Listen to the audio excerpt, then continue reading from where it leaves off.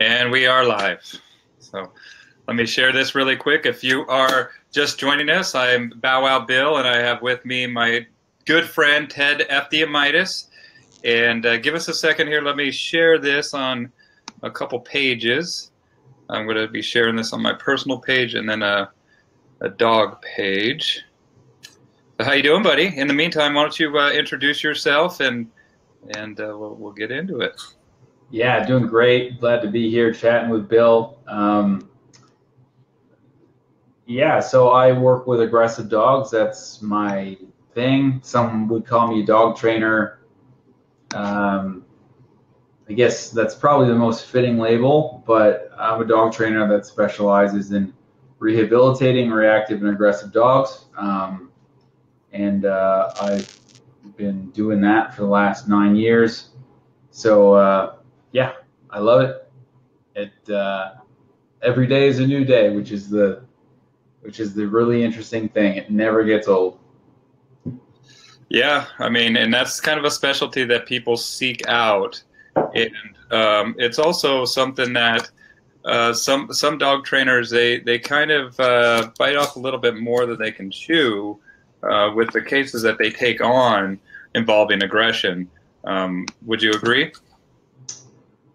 Yeah, I think uh, people will do that sometimes with the best of intentions. Um, you know, typically people get into dog training because they want to help dogs, they want to help people, uh, and they have great intentions when they're getting started.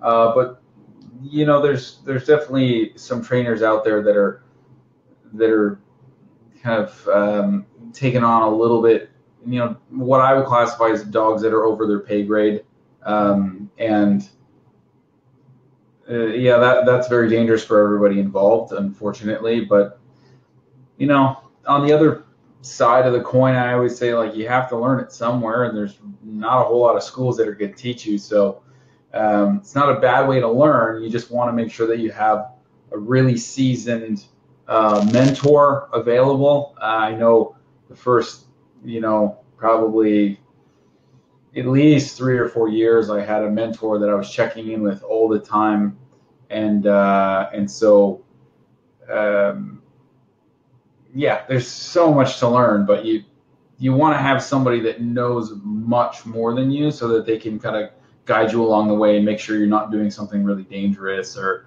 or anything like that. Yeah, I mean, and and you can get in trouble really quick with these dogs. And I wanted to mention your your DVD. Do you still have this available? I know that this was a little while ago. I got this. He's not friendly, and um, I mean this is uh, excellent. I definitely recommend this uh, for for professionals. Uh, and and if you are not a professional and you're dealing with an aggression uh, case, I definitely uh, recommend you working with a professional. Yeah. But, you know what's a what's that DVD series all about, man? Um, it's it, basically the first of its kind. I produced it two and a half years ago, and uh, I brought in four dogs onto my property, and we basically went from start to finish uh, with each of these dogs. Uh, they all had some different issues uh, as far as where their aggression was stemming from, but basically it shows you kind of day by day what we're doing with all the dogs. It's about five hours long, and um, yeah, it, it, it, turned out it turned out really well. I've got a lot of great feedback on it. If you are interested in purchasing it at any point, uh, you can either check out my website mangodogsmedia.com or you can buy the physical DVD at ecollar.com. Uh, they have them in stock there, so that's also an option. And uh, thanks for joining us, Eric. I, I noticed that Eric was had joined in and uh, mentioned that it's a great DVD. So thank you for the uh, the good feedback. Yeah. Eric, welcome, man. Great to have you. And so, yeah, and you actually work through these cases with this. Uh, you know, you could see the dogs right when they're green getting to you, and then uh, you know see see what's involved with that. And I often tell people that we belong to a society that is, you know, kind of instant gratification, push button. We have these little boxes in our pocket that allows us so, mu- so much uh, access to information um, that it, remarkable. But it also changes the conception of, of outcome, uh, the, the timing of outcome, I think. Uh, it kind of, we want it right away, where when we work with behavior, especially behavior that has been uh, taught to the dog by by the dog itself and gotten some outcomes that uh, were beneficial to that animal, it's not going to be an instant thing, is it? Takes time. It's you know the way I, I like to com- kind of communicate this is my personal opinion is that dogs are able to make much faster changes than people are. Uh, I kind of joke about it and I say, you know, I've got friends in high school or friends from high school that are still dealing with breakups from when they were 18 years old. Um, and, you know, that's just kind of, you know, uh, we've all got our own kettle of fish to fry, as they say. Nobody's perfect. Um. But, you know, dogs can change very rapidly. But unfortunately, it is not a an overnight change. It is not a snap your fingers and it's done change. Um, you know, uh, uh somebody who's really good at what they do uh, can typically produce uh, really significant changes between a month to two months. However, there has to be maintenance. The client has to continue to um, be working with the dog and keeping these things up, similar to a diet, exercise regime, that kind of thing, if you want to continue to see the results. But yeah, unfortunately, it doesn't happen overnight. Yeah, and I you know it's a, I think I think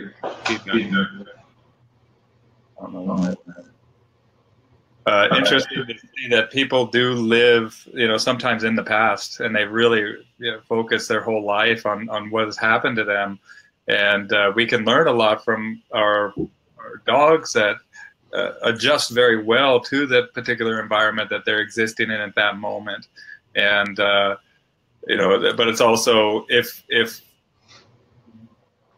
we are somebody that lives in the past and we get a dog that's high maintenance and a lot of times that dog will take over that that situation because there there doesn't seem to be a present leader a confident leader leader there. Yeah. Uh, and you know, I think that people don't take the due diligence that's needed, especially when they're selecting higher maintenance breeds, um, like uh, like a game breed or, or a protection dog or a dog working considered a working dog, and um, they don't know the work that goes behind it. They don't know the upkeep that it takes to maintain it and a lot of times they find themselves in situations that we as professionals, I think, see all too often. And um, I wanted to speak about that today. It's it's regarding kids with dogs, and uh, they can be a wonderful thing. Wouldn't you agree? Hundred percent. I'm a dad. I have a daughter who's uh, just over two years old, and you know, she's my everything. She's cutest kid in the world and means the world to me. Um, and when you have a kid, if you have dogs and then you have a kid, like when you just have dogs, you think that, man, like these are my best friends. They mean everything to me. And then you have a kid and you go, oh, there's a different element to life that I didn't understand. And, uh, um, it's incredibly profound. And so, uh, you know, I'm uh, not only am I somebody that specializes specifically in working with uh, child aggressive dogs, uh, but I'm also a father, and that gives me some unique perspective. So um, I'm very interested in this topic for for both of those reasons. Yeah, and um, what do you what do you see as as the biggest problem that people do when uh, you you see a conflict between a child and a dog? Well, I think you alluded to it previously, and and this is obviously a more long term um, view of things, but if you think long term about the dog that you're bringing into your home if you're 20, 21, 25, 30 years old and you're thinking, you know, maybe at some point I might want to have kids, you really want to be selecting for the type of dog that is going to make it much easier for you to bring a dog home. You know, contrary to popular belief, not every dog is created equal in how good that dog is going to be at dealing with conflict, uh, whether that dog is going to guard or not guard, all of these different things. So I, I really like the the brief point that you brought up about you know the genetics of the dog. What type of a breed is this dog? Is this dog known for being good with kids? And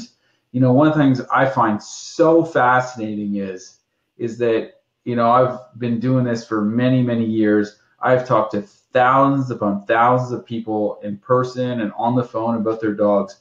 And i have never once in my entire career had somebody call me and say you know what we think that we're going to have kids at some point. What type of dog should I get? I've never once had somebody ask me that, right?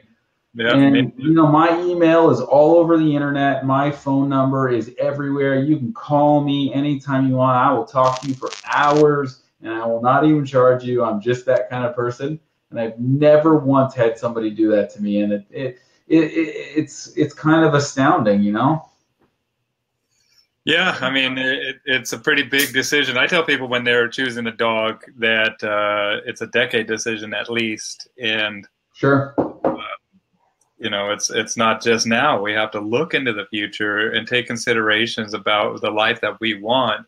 Um, it, it, you know, and and it just sucks that when you do have a dog and then a baby comes in and and there's a problem that happens a lot of times there's a tough decision that needs to be made.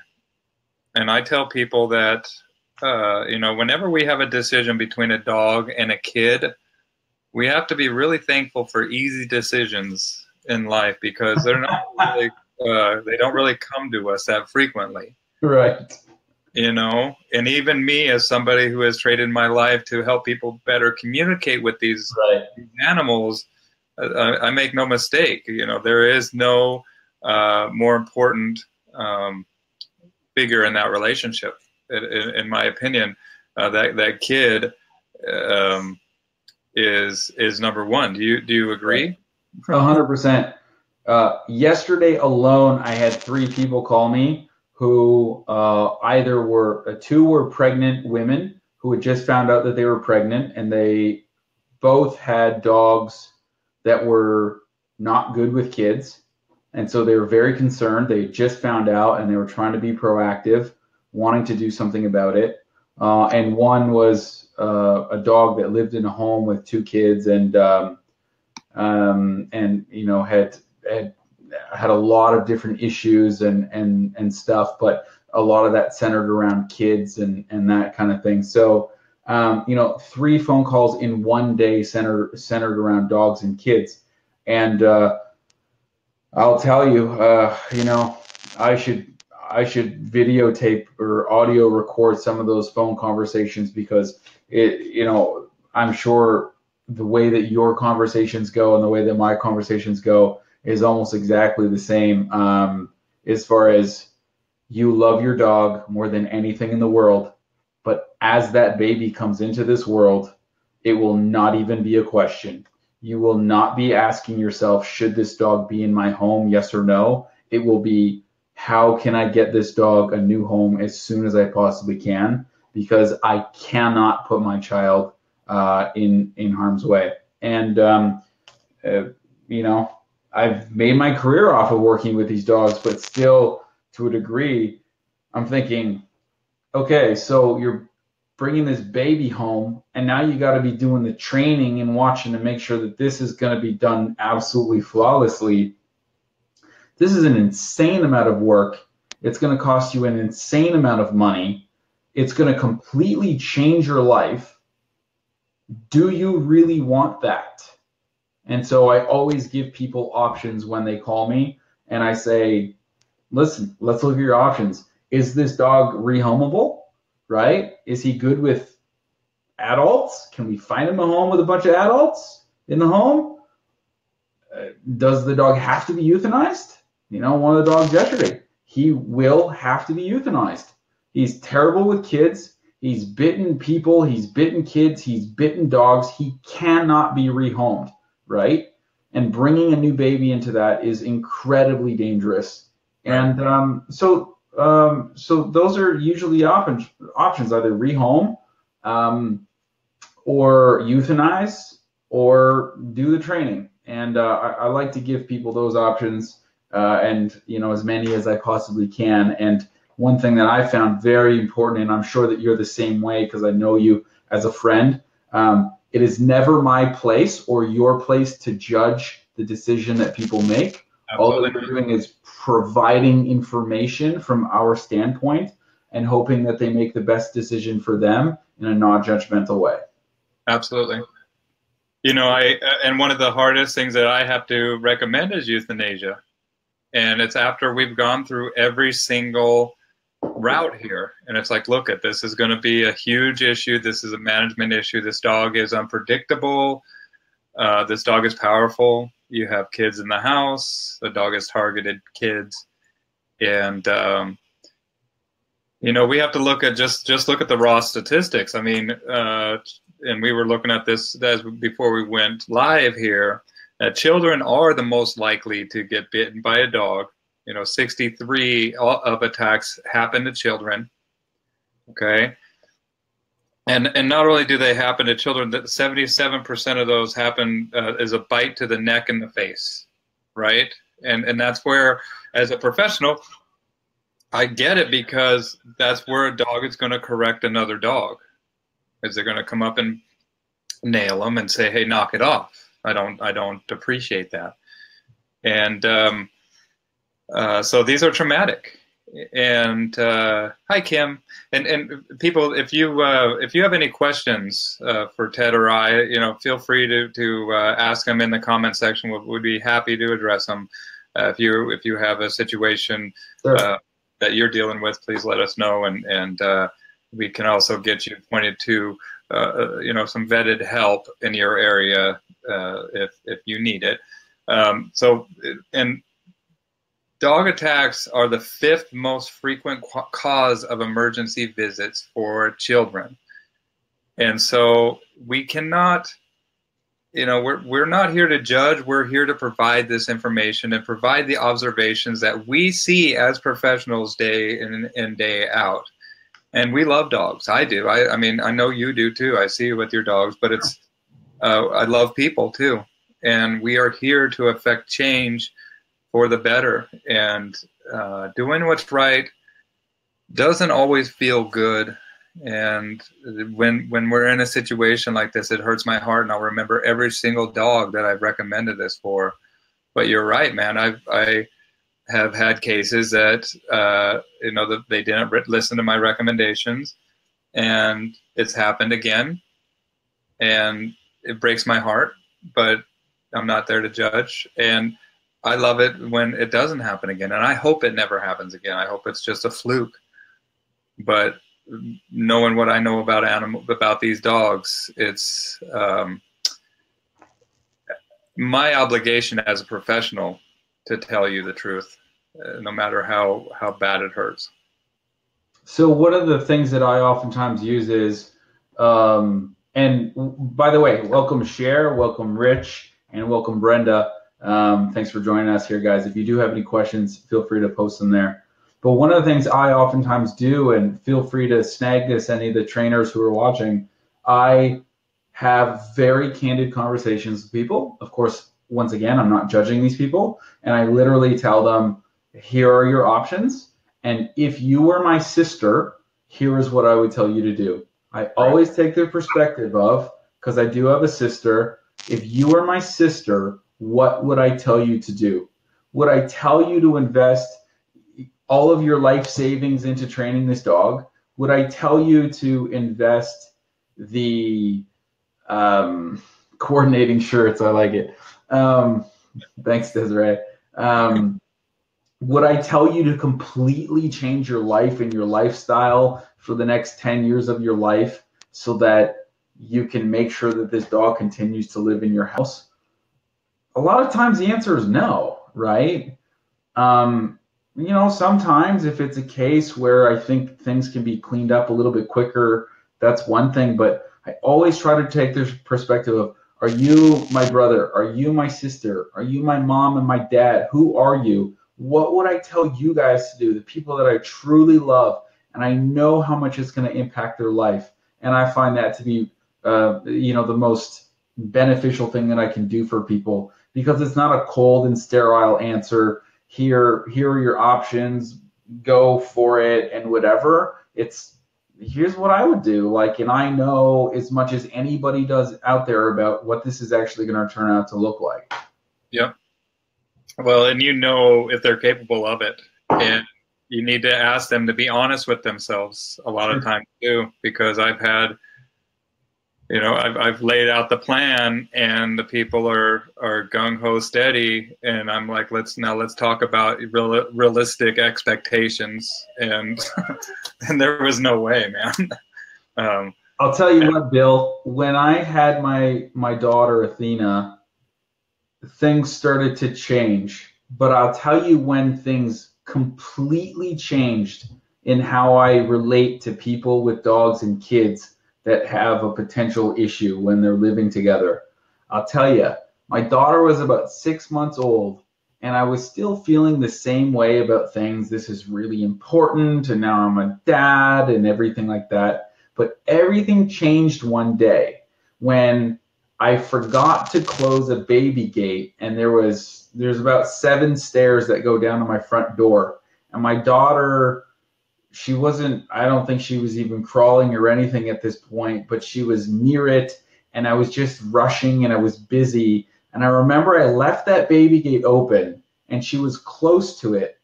And i remember almost crying because there was so much power behind me going i almost allowed my daughter to fall down seven stairs and i am a proactive person and I am watching everything that I'm doing, I went in my car and I sat down and I and I and I started thinking about it and I said, "You know what?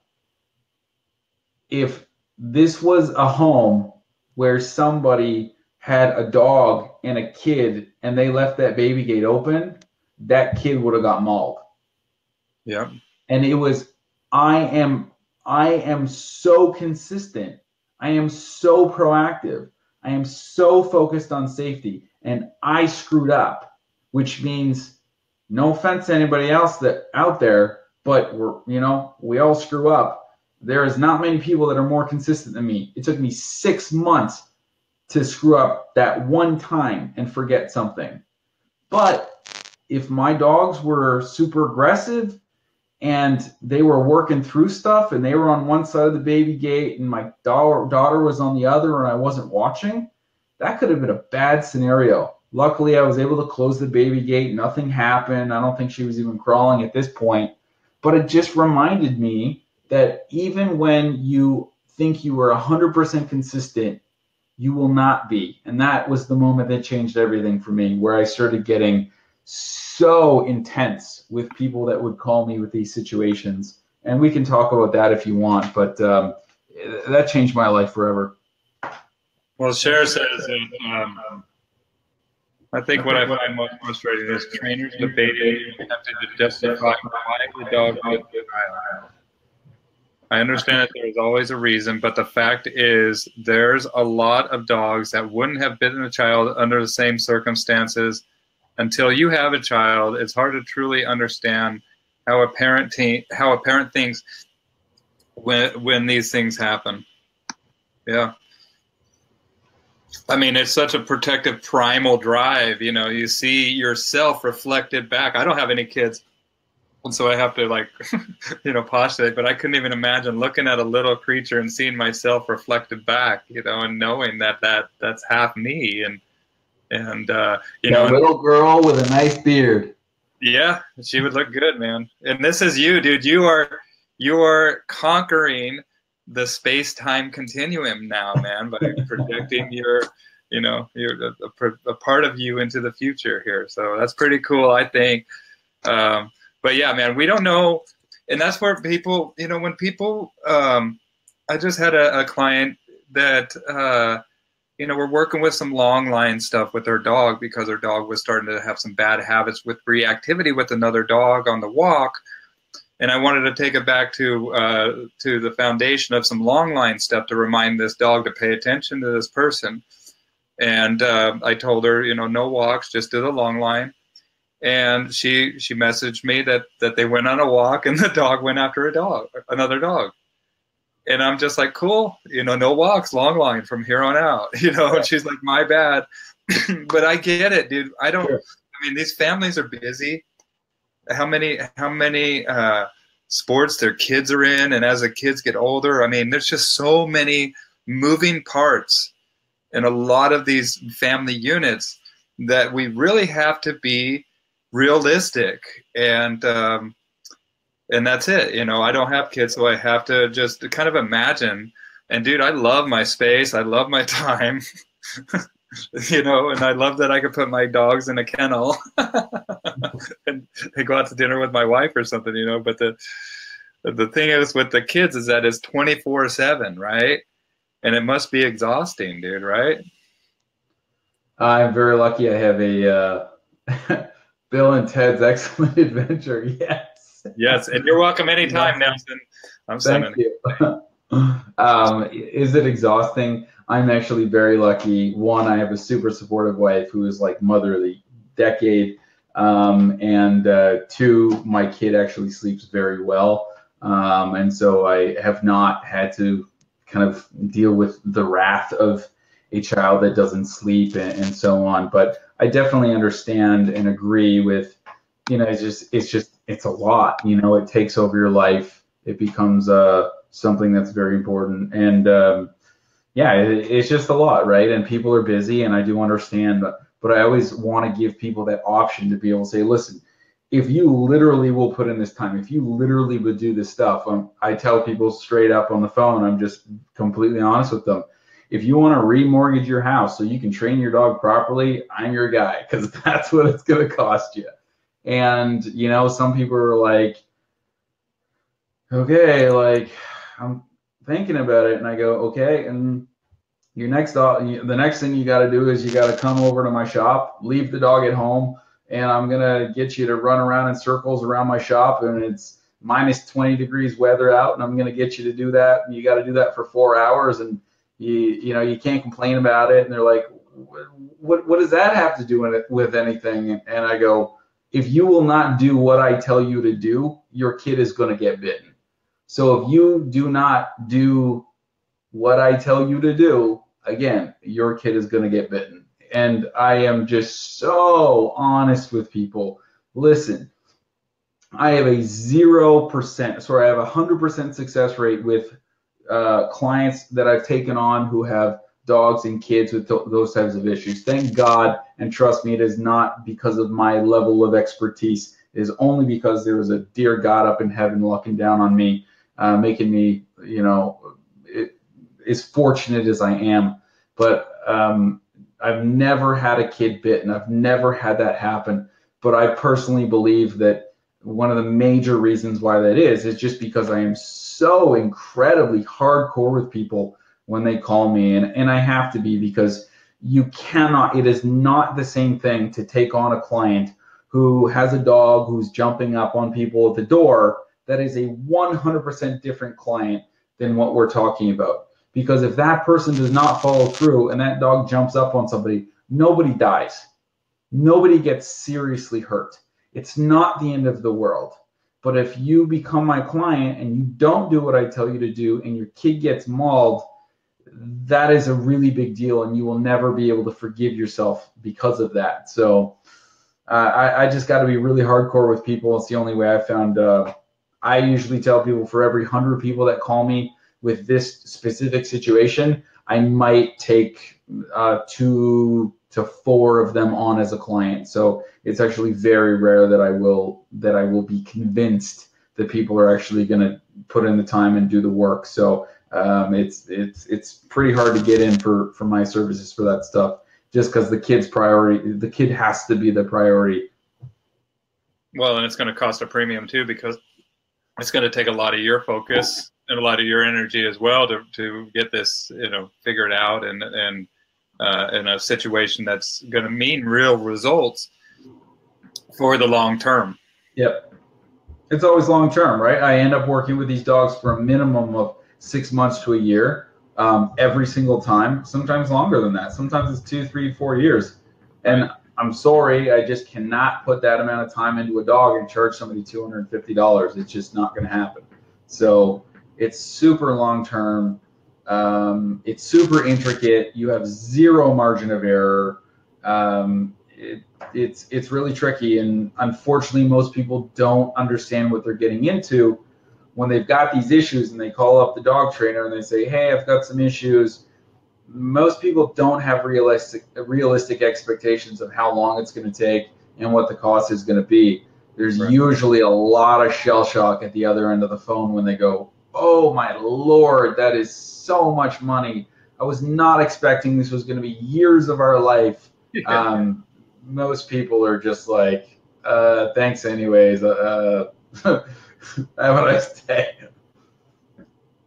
Well, and when I tell them and I start breaking it down, you know, the skill drills, and when I'm, I'm actually going to be working with that dog, and show them how much they pay me versus how much I'm working. I'm like, dude, you're literally paying me less than minimum wage. And they, and they see that. But it takes that whole because I'm, I'm the dog is here with me and for a long period of time, as long as it takes. And, um, and, you know, then they kind of get it, but it doesn't change the fact that it is a lot of money. And, um, you know, a lot of people don't like that. I mean, but it's it's it takes work and it takes sometimes it takes sacrifice, and I think that that money aspect uh, represents that sacrifice for some people. Yeah, I think it all comes down to it all comes down to expectations, right? If you blow the engine in your BMW, the expectation is not I'm going to get this fixed for 250 to $500 and it's going to be in the shop for an hour and a half, right? Like, you know that that's a big thing that's going to take time and it's going to cost a lot of money. Like, you know that when you blow your transmission in your car, it's not going to be cheap. They're going to have to order parts in and you're going to have to get a rental. Like, those are the expectations.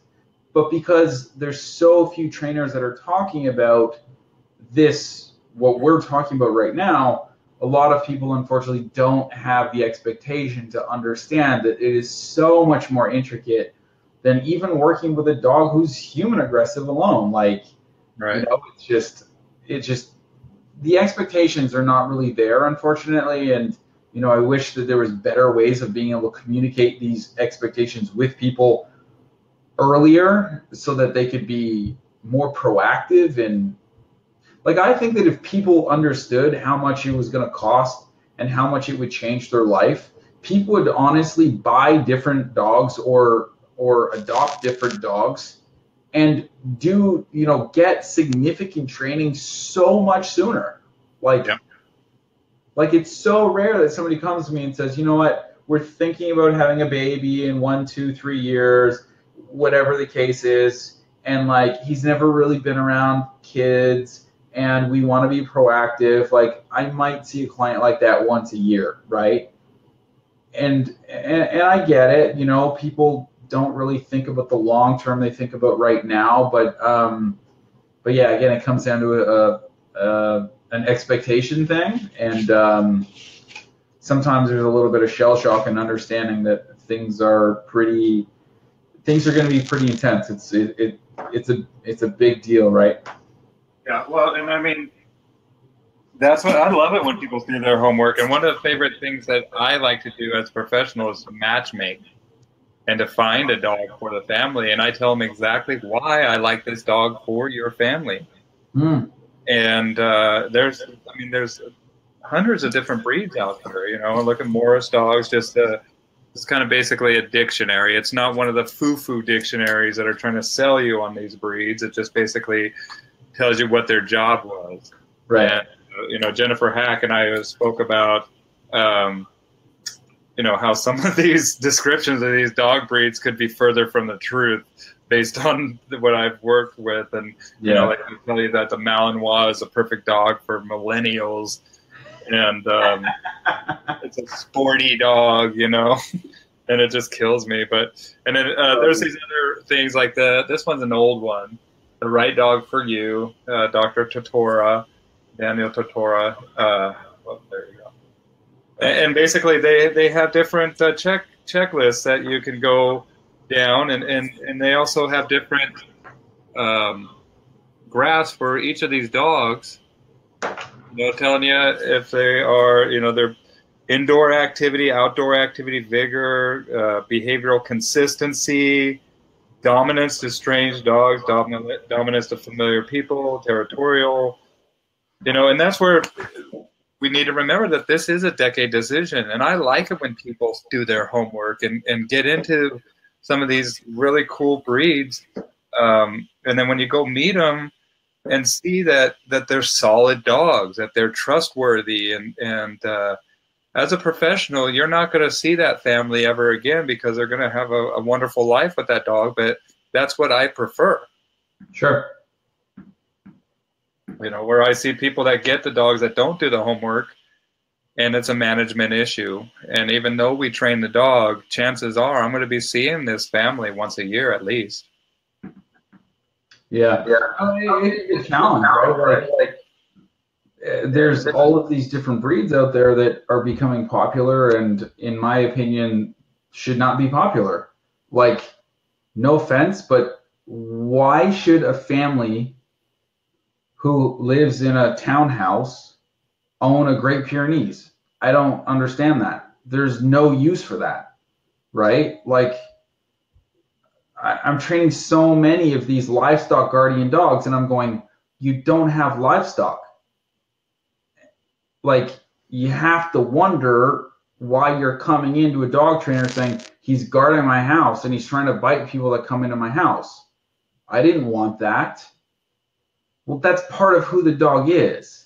Yeah. And so, you know, you can pay me to help you and, and to do the training, don't get me wrong. But it comes down to this very simple understanding of doing the research, not looking at how beautiful the dog looks or or something like that, or you right. knew somebody when you were in junior high school that had a, you know one of these breeds, you know, 20 years ago or 30 years ago and making an expectation based on that. The fact of the matter is, is that there are some dogs that make fabulous um, house dogs and family dogs, and some that are horrible as family dogs. Just terrible, right? And unfortunately, the vast majority of uh, of dogs that I see that are not good with kids, it's like yeah, like that's kind of a common sense thing, right? Like, but it, it's it's hard for people to, people to make these things because you read on the internet the Pyrenees, the Maremma, these you know the Anatolian Shepherd, they're they're loyal dogs. Yeah, they're loyal if they have a job, but they're not loyal if they don't have a job.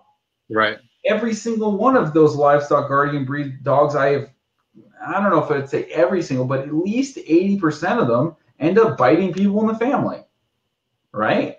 And so we need to do better research and people need to be open to say, listen, I work with these dogs. Here's what you actually need. And, you know, I, have gone on this, I've gone on this crusade over the last years telling people you need to find yourself the fattest, stupidest black, black Labrador retriever you can find and that is the perfect family dog.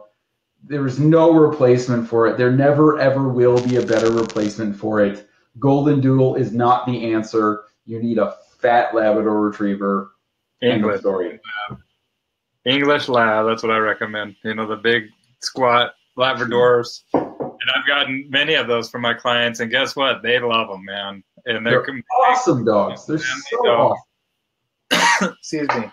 And um, yeah, I try. In fact, I'm looking for one right now. I have a breeder up here in Bellingham, just north of me, who uh, is very popular. And so uh, uh, when when I find a really good breeder, I, I, I really hold on to them, you know, because they know what they're doing. They're producing an amazing dog, and um, it seems that a lot of times in the rescues, and we we go often to the shelters here, that a lot of these dogs are very high energy, very high drive, and and um, you know they're they're cute dogs, and I get it, um, but it's this dog we need to look more at just what this dog looks at like Sure. and take into to consideration what this dog's job was like you were saying and if we give this dog a, an unemployment situation a lot of times uh, gremlins will pop up in the in the behavior that isn't really conducive with the everyday human life right here's, here's a good quote uh, for educating clients.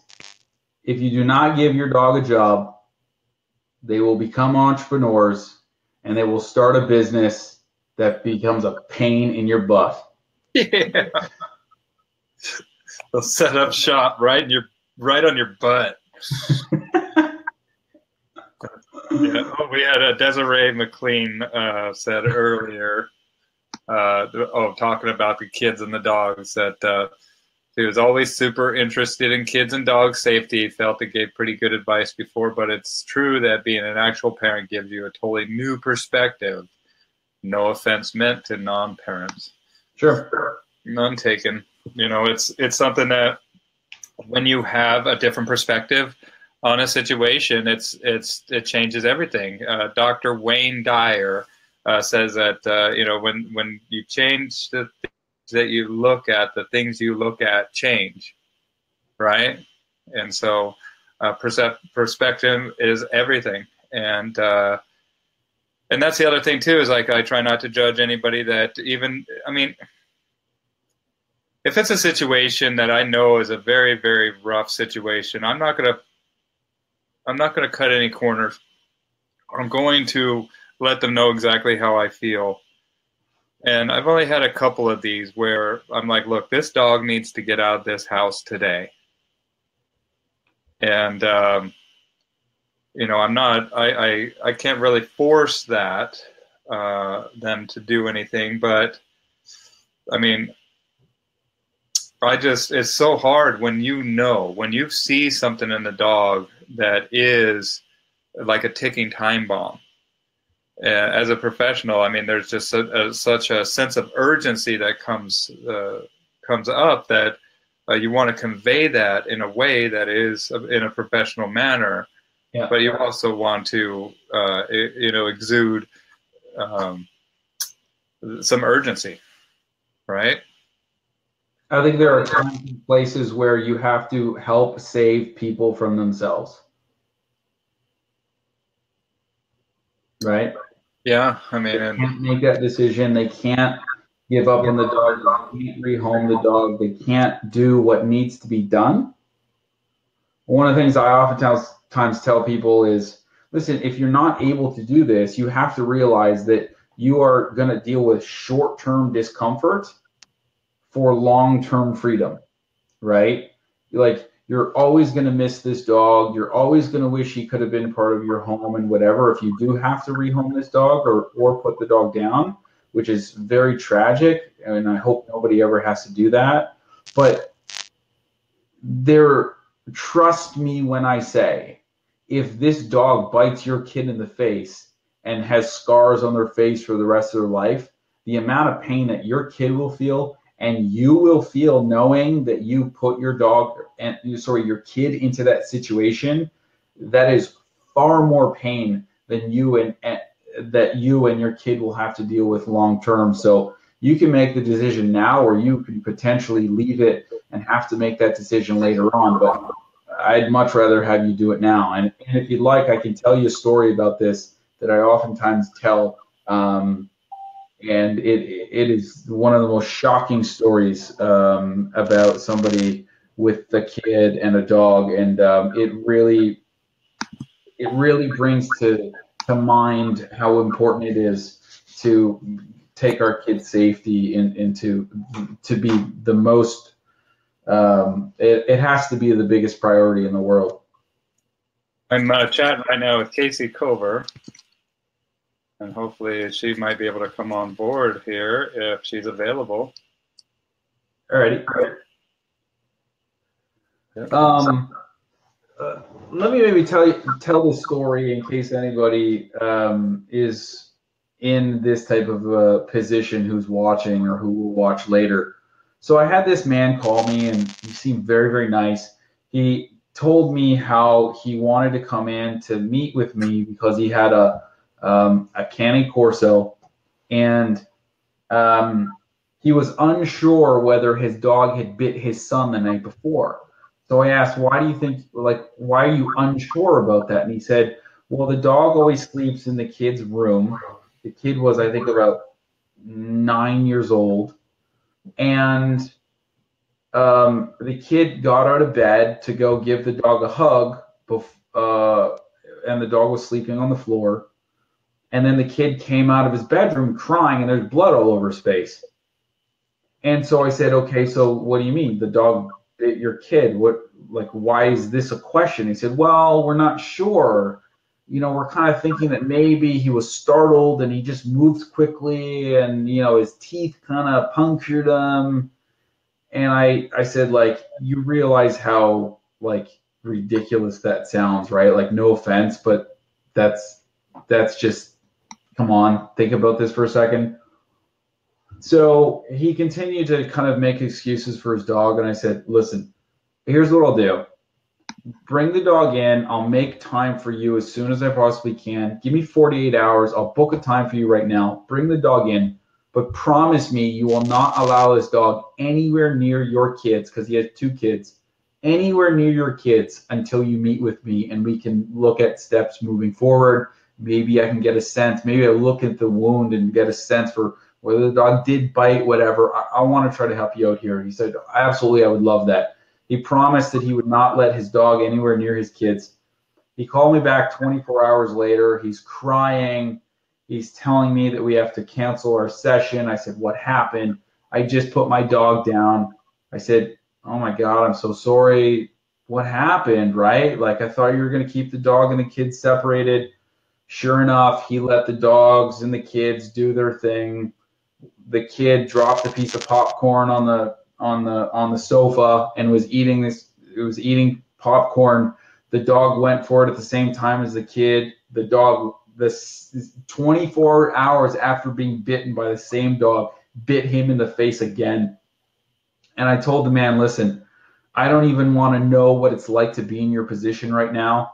I don't have to beat you up any more than I'm sure that you're beating yourself up. There's nothing that can take this back. Your dog will have, sc- your kid will have scars on his face for the rest of his life.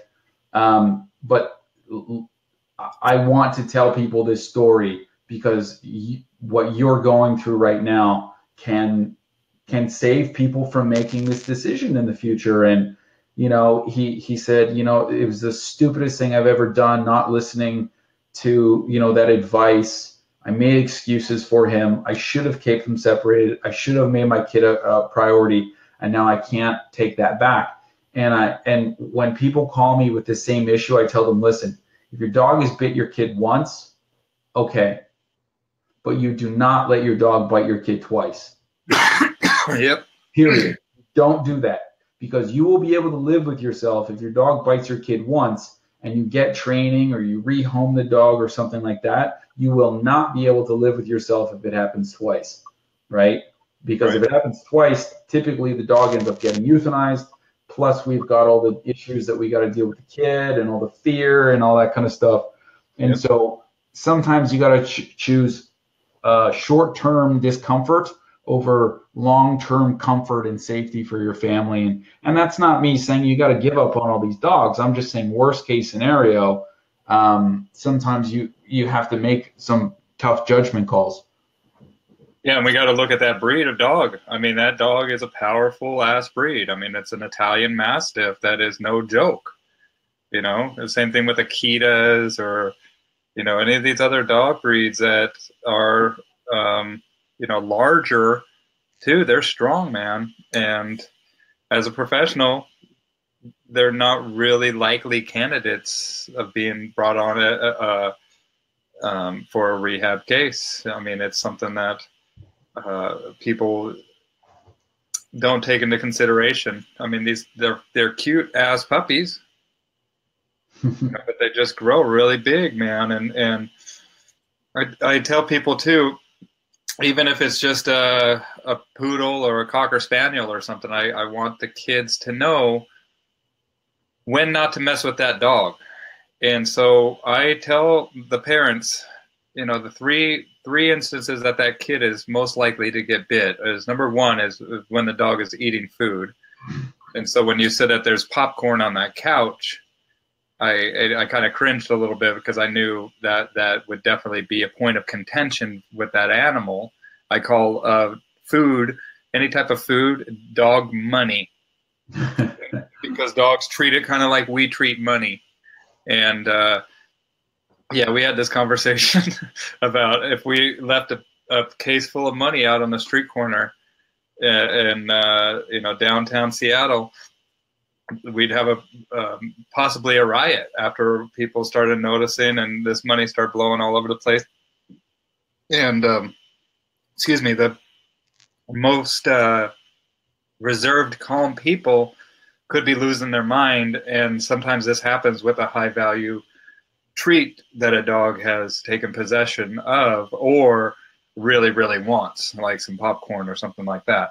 So uh, a, a, child is more likely to get bit. Number one, when a dog is eating. When the when a dog is uh, mouthing an object like a toy or a bone, and they're showing the possessiveness over that, yeah, and the child wants to go up yeah. and, and, take it from him. Um, excuse me, I got a tickle in my throat. Uh, so mouthing an object. Um, and then number three is when a dog is sleeping. Yeah. And uh, there was an yeah. old saying when I was a kid, there was a saying, let sleeping dogs lie. And I want to bring that saying back.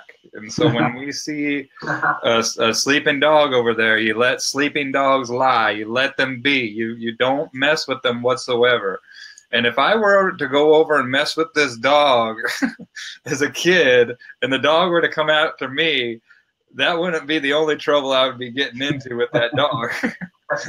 you know, my grandpa or somebody would be like, "What are you thinking, messing with that dog when they're sleeping?"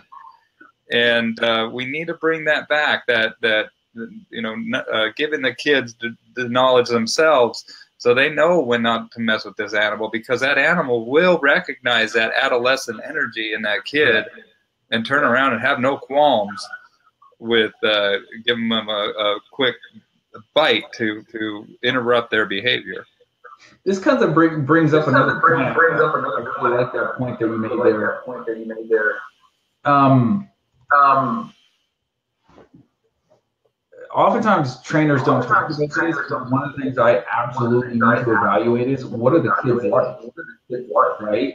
Yes. Are the kids under control? Do they have control? Control? Do they have learning disabilities? All of these factors have to be the decision to go forward to your training because if you have a kid who's struggling with ADHD and OCD and these things, and parents that refuse to draw the line and say, you know, if you do this, this is the consequence for you, my son or my daughter.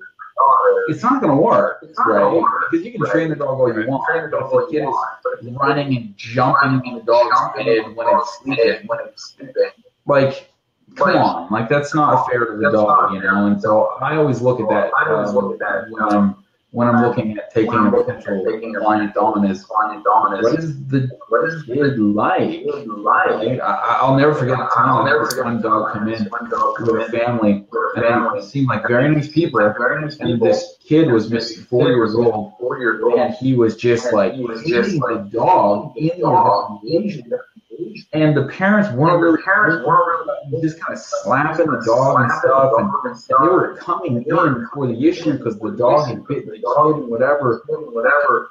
And I said, can you like like forcibly, forcibly restrain this child right now because he's going to get bitten right here. Like he's hitting that dog. Why are you not? Why are you not stopping him from doing that? From doing that? Yeah. Right? Like if he was like if he was a child at a playground, playground let him do that. Let him do that. He's hitting the dog in the head. The dog in the head. And I'll never forget the time I said like, listen, like, this is so important. You, you understand that you're kid a very large component. And uh, anyways, just for some reason they were willing to draw a line in the sand and give their kids some discipline and and whatever, and and they were trying to blame everything on the dog and like, you know, I'm sure the dog had issues too, but it's like the kid is hitting the dog in the head in the evaluation. It can't get much worse than that. Yeah, well, a lot of times. Oh, James uh, Maturana set from uh, down in uh, Australia says what's up. So um, a lot of times you'll see that uh, I'll come into a training situation and those kids are off the wall. right. You know, and and uh, you see a lot of it correlates with the structure with the kids and the structure with the the dog. It's just that I'm there to, to help out the dog. But sometimes I'm an advocate. I mean, I'm always an advocate for that dog. I tell people that I'm kind of like an attorney for their animal that they just hired. I represent the dog. You know, I want I want what's best for this animal. Yeah. Um, and so, you know, I will definitely stand up and be like, no, no, no, that is unacceptable. Unacceptable. We do not hit dogs. Um, and I try to reach the kid, but it's hard when you're dealing with a learning um, uh, or behavioral disability uh, that you don't know about. And uh, you, and as professionals, we're just we're just there trying to cram as as much. Uh, we're we're one trying to recognize the pattern that we see in front of us with these changing variables of the human, the dog, and the environment that's always changing up. And then we're trying to make suggestions on how they can write this situation um, usually within a couple hours of meeting them and and uh, and also um, you know uh, talking with them on the phone or whatever we do to evaluate that case. Um, and, and, trying to make real dramatic changes sometimes uh, pretty quickly um, is is you know hard to do especially when you see a big influence of behavior is that child or the lack of structure on a completely different aspect of their life. And, and a lot of times people want me to fix just this little part of the dog. And I have to let them know, look, that's just a symptom yeah, yeah. of the overall that, you know, that's what's popping up here. We need to get to the root of the problem here, which is structure, routine. You know, this dog is acting out right now because he's it's it's kind of like a cry for help. It's like, yeah. dude, I don't know what to do. And I also tell people, you know, dogs dogs they bite people for two reasons. One because they think they can and two because they think they have to. Right? And so it's something that um, you know when playing with the dog too, that's another thing that we work we we look at and work on as well with the kids and how they play, and um, you know that that type of stuff. But yeah, you know, take into, into account every single factor that makes up that family unit is uh, very very important. Yeah. Yeah. Um, um, one of the things I want to chat about is two misconceptions that oftentimes come about when it comes to kids and dogs. Um, so, having worked with many dogs and many people in this situation, one of the things that oftentimes somebody tells me, uh, my wife is pregnant and we're going to have a this new baby come in, let's say six months, and we're really concerned that the dog is going to be aggressive with the baby one of the things that I've found over the years is that is so incredibly rare. And I firmly believe that the reason why that is rare, and there are, are caveats which I'll go through, but I firmly believe that the reason that that's so rare is because the dog has nine months to be able to bond with the baby when the baby is actually getting, you know, is, is actually going through the pregnancy, right? And right. so I've literally had women call me before and say like, "Oh, I don't know what is wrong with my dog. He's just getting super defensive of me and get guarding me and whatever." And I've literally been on the phone with women before, and I'd say, "Well, you're pregnant, right?" And they say, "I'm not pregnant. What are you talking about? I'm not even in a relationship." And I'll say, go get a test. Call me back tomorrow. And they go, you're crazy. You're nuts. So they hang up the phone. And then sure enough, they call me back. And how did you know? I'm like, come on. One plus one equals two here. Come on, guys. Yeah. Congratulations on the fact that you have a baby. Great news. Um, but you know, dogs have the ability to be able to know these things before human beings do, before even some of the medical tests uh, can can figure these things out because of the hormonal changes that are happening in in, in women, etc. And so your dog has the ability to spend nine months with that baby. So it's very rare that even if your dog is not great with kids, if you get pregnant and you're gonna be the dog is gonna live with you for nine months it's really unlikely that your dog is going to start being aggressive towards your child. There is a few caveats.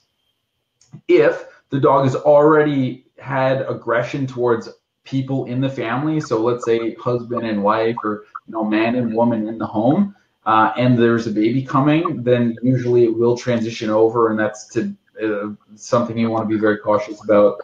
Um, or if the dog has a history of badly guarding things like bones, toys, food, and that kind of stuff. But traditionally, um, when people call me and they say, you know what, he's not great around kids,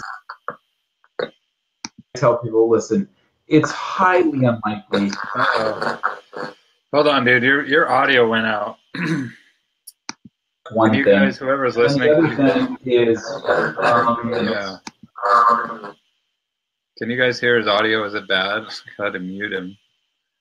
He hasn't, he hasn't stopped talking. Dog started acting aggressively towards other dogs when we go for a walk or like that. And say, you know, I'm really concerned that my dog is going to bite my kid or whatever. And it doesn't work that way. You just don't see dogs that develop aggression or reactivity towards um, towards other dogs. They just randomly start biting kids, especially members of that family. Members of that family. Oh, sorry, my audio's bad. Sorry, my audio's bad. here, but um, but anyways, this is two misconceptions that oftentimes I hear. Um, if your dog has nine months to be able to connect with your baby, he or she is probably going to be fine with your kid. And just because your dog has dog aggression issues, it doesn't mean your dog is going to start becoming aggressive to your child. These are two things I hear pretty often, and they almost never happen. They almost never happen. Well, cool. Yeah, a lot of people have misconception about what will happen. I know that they're trying to uh, err on the side of caution, but yeah, the dogs have a totally different uh, perception of what what's going on in that that woman's body. You know. So, did you uh, see anything with your dog when your wife was pregnant? Yeah, one of my female dogs. Yeah, one of my female my youngest. Actually, my youngest started getting really, started getting really um, needy. Um, not needy, but just very clean. but she's very following around a lot more. She was around a lot more. She was never defensive or guarding or anything. But you could tell she really wanted to be close to the baby. Um, and my older dogs. and my um, older dogs. Which I uh, found kind of interesting. Um, I figured my older dogs would be a little bit more kind of mothering and fathering, but not as much. Um, but other than that, I didn't really see the. Granted, my dogs are very, my dogs are very, um, very well socialized and that kind of stuff. I wasn't expecting a whole lot, but that was really the only thing that we saw. Awesome, man. Well, it looks like we are nearing an hour here, so we're going to sign off. I'm going to, uh, I got to run and I got to run a bunch of dogs myself here at the property. but if people want to get a hold of you, what's the best way for them to do that, Ted? Uh, you can go to my website. Uh, uh, best website to get me usually is mangodogs.com. Mangodogs.com. Um, and um, an email if you're interested. I have a free video course on Udemy about how to introduce your dogs. Thanks for posting that, Bill. How to introduce your dogs to your children. So feel free to shoot me an email and I'll send you a link over that. It's completely free. Made it just to try to help people out as much as I can. And uh, And you know, like I said, get get a hold of me, and I'd love to Get on me, and I'd love to help you. Or if you have any friends that are having, you know, uh, we're gonna bring in a new child home or something like that, I'd love to send that over to you. I'd love to send that over to you. Awesome. That's on Udemy, U D E M Y, and he'll send him a link to that. Yeah. And uh, all, as always, man, I, I look forward to uh, you know doing this again in the future, and uh, always always love talking with you, brother. Thank you for having me on. Really Thanks appreciate for it. having me on. Thanks for tuning in, everybody. Thanks for tuning in, everybody. All right, everybody, take care. We'll talk soon. And hold on.